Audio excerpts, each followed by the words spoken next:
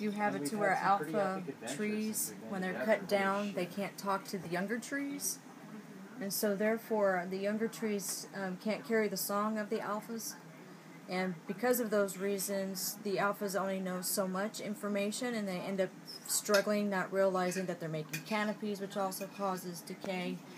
And um, and so now the alpha, you know, the children are no longer knowing their ancestral information. Um, one of the other things I've noticed, as well as some other scientists, is that trees are, you know, becoming into clumps of islands, and by doing so, that also causes disconnection to the next group of trees.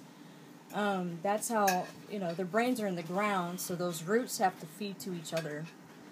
And while they're doing that, they also use the mushrooms as a way to also connect in those various formats to each other in a telecommunication way.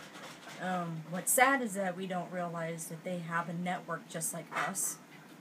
Um, we are a correspondent to how trees are. Um, the difference being is that um, we have gotten to a point where we think that we're disconnected from them, but we're not. They're always talking to us, but we have to calm ourselves down and slow ourselves down to hear them. Unfortunately, through media and through um, signals, they can jam it to where you do not hear those voices, which are on a certain frequency. And so, therefore, um, we just think that trees can't speak because they don't have lips, but they always sing to our hearts. But people don't know about the hearts because they aren't connected to their ancestry. Yet again, we have literally divided the trees the way we've divided ourselves.